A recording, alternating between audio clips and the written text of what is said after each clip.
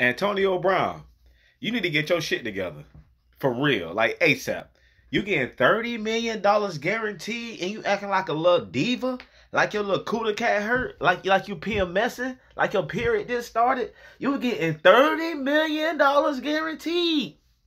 Some people say, oh, you gotta understand where you coming from. No, you gotta understand where I'm coming from. Cause I'm broke. I ain't even got one million dollars. Only have a hundred thousand. And he get that guaranteed. 30 million. He act a little bitch about a football helmet. He like a little bitch because they about to suspend him one game for showing up late. That's your problem. You making black people look bad out there, man. You giving us a bad name. My skin color brown. My name should be Antonio Brown. My skin color is brown. You need to get it together, man. You got 837 career catches, 11,000 plus yards. You one of the best wide receivers ever of all time.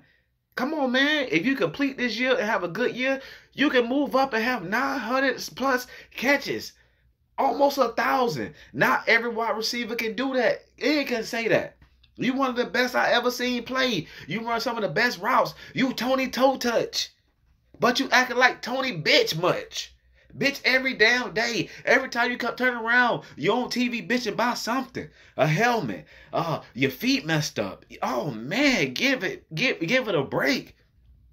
Come on, man. This is getting old. I'm tired of talking about you. They tired of talking about you. You're making us look bad. You're making your team look bad. You're not a team player. I should have known that since day one. You're a great football player. But a leader, you is not you was not a team player either. It is it's it's disgusting. I remember the altercation you had about your son. Then you had the, then all of a sudden you had a a, a life changing moment. Now you want your son in your life. Now look at you about a football helmet, about you showing up late to practice. Now they about to suspend you.